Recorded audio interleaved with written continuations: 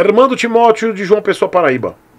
Fala, Chico. Boa noite. Armando Boa. Timóteo, João Pessoa, Paraíba. Oi, Armando. Hoje saiu o vídeo do Cantarelli fazendo o teste de autonomia na Evian Sport com atualização de software. Uhum. E assim, é deprimente. Ele conseguiu 40, 41 km com uma bateria, andando apenas no modo 2. E eu parei para pensar um pouco e me fez refletir um pouco sobre o que a Volts fez em relação aos modos da Evian Sport atualizada. É, ela diz que você só vai alcançar os 100 km de autonomia no modo 1. E que a velocidade média é de 35 km por hora. Só que o modo 1 é limitado eletronicamente a 35 km por hora.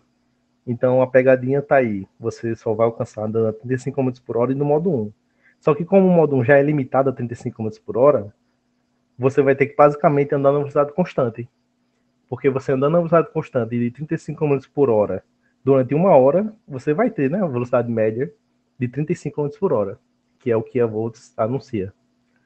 Eu acho que foi uma pegadinha bem, bem, bem bolada aí da, da Volts, né? Mas não deixa de ser uma pegadinha. Obrigado, Armando. Não, não foi, não foi bem bolada, não. Não foi uma pegadinha bem bolada. Primeiro que não foi pegadinha. E segundo, que não foi bem bolada.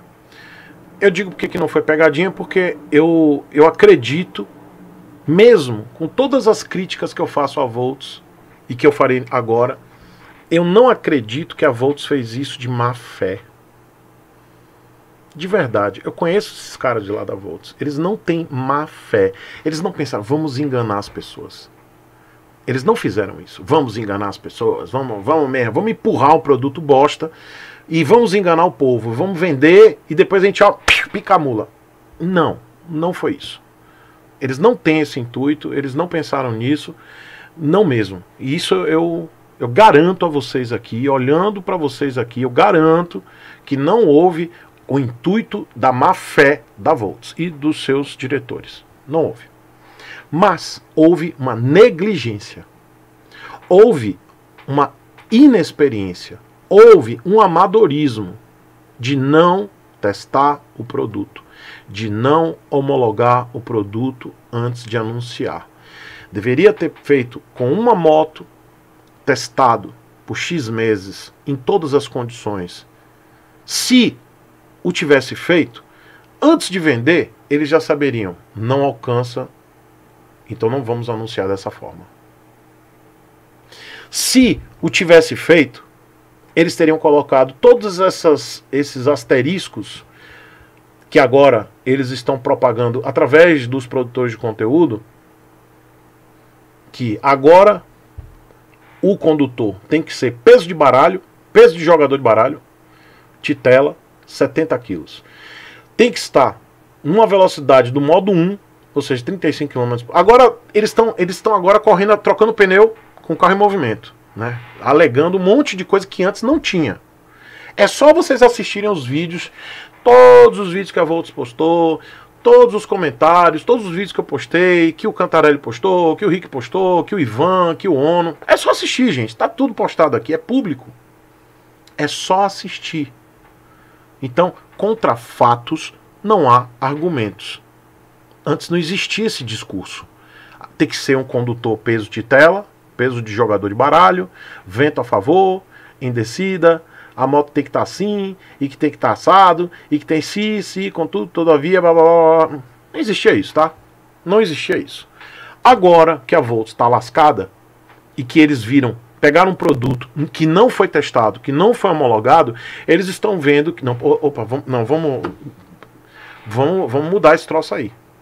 E vamos ter que encaixar aí um argumento. Então está sendo feito dessa forma. Eu assisti o vídeo do Cantarelli, né?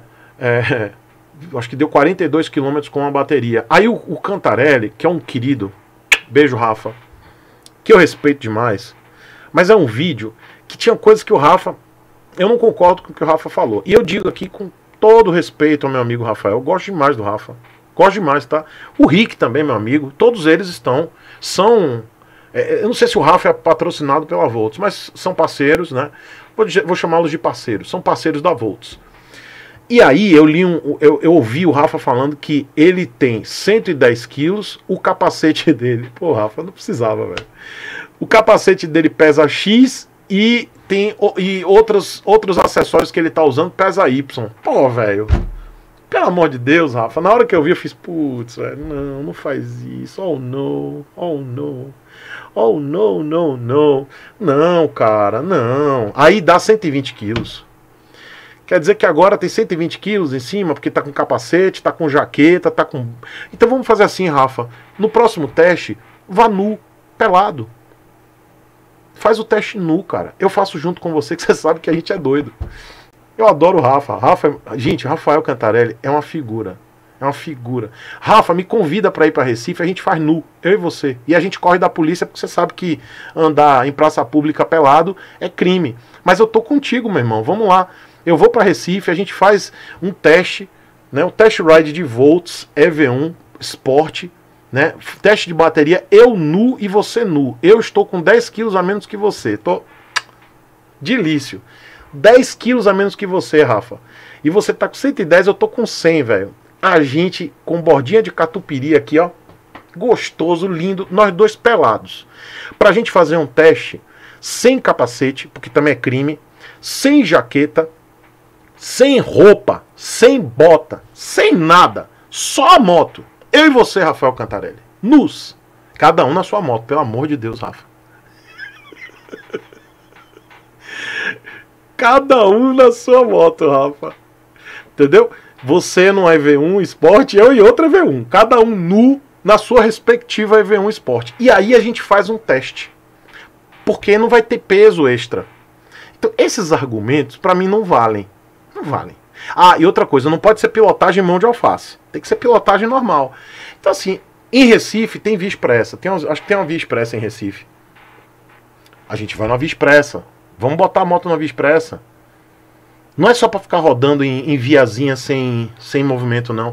Porque a, a EV1 ela é feita também para rodar numa via expressa. E eu não estou falando de BR, eu estou falando de via expressa dentro das cidades, das grandes cidades. Porque se ficar colocando muito contudo, se, contudo, todavia, volta a estaca da EV1 2019. Essa sim entregava tudo que a Volts prometeu. Eu tive uma EV1 2019 que me entregou 50 km de autonomia, eu rodando no máximo a 60. E eu descia o cacete aqui rodando numa via expressa, tem vídeo aqui no canal. E eu consegui alcançar 50 km de autonomia. Por que quer ver um esporte não pode? Então tem alguma coisa aí de errado. Né? Tem alguma coisa de errado. E esse argumento de que, ah, porque agora tem peso de capacete, tem peso de jaqueta, então tá aqui meu desafio feito ao meu amigo Rafael Cantarelli.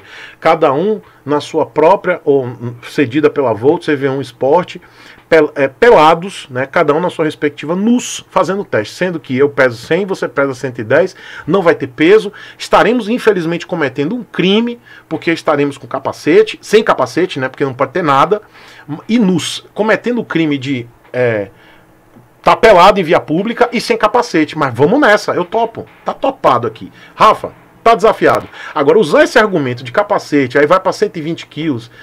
Pô, velho, faz isso não. não. Volts, não façam isso, tá? Vamos botar uma moto aí, vamos, vamos dizer assim, ó. Eu acho que é mais, mais correto da Volts dizer assim, galera, erramos. Ó, quem comprou a moto, quiser uma compensação, a gente vai dar a compensação. Mas ó, a partir de agora, a gente não conseguiu alcançar a, a a autonomia. A autonomia agora é de 100 km, tá? Rodando no modo 1, moto de playground, tá? E se você quiser descer a mão, vai cair para 40, vai cair para 30, 36, que a minha fez 36, rodando aí numa velocidade média de 45 km por hora. A minha, com uma bateria. 45. É só assistir o vídeo lá, acho que foi 40 ou 45 km em média. Então é isso, tem que ser sincero. Sincerão. Tá? Mas está aqui o desafio feito. Eu, Rafael Cantarelli, os dois pelados nas respectivas EV1 Sport, cometendo crime, dois crimes, por estar sem capacete e por estar pelado em via pública, testando a autonomia dessa moto, tá bom? Tá aí lançado. Agora ficar usando esse argumento de que agora tem capacete, tem jaqueta, aumentou 10 quilos, 20 quilos. Isso é conversa, tá? Rafa, um beijo pra você, viu? Tô acompanhando.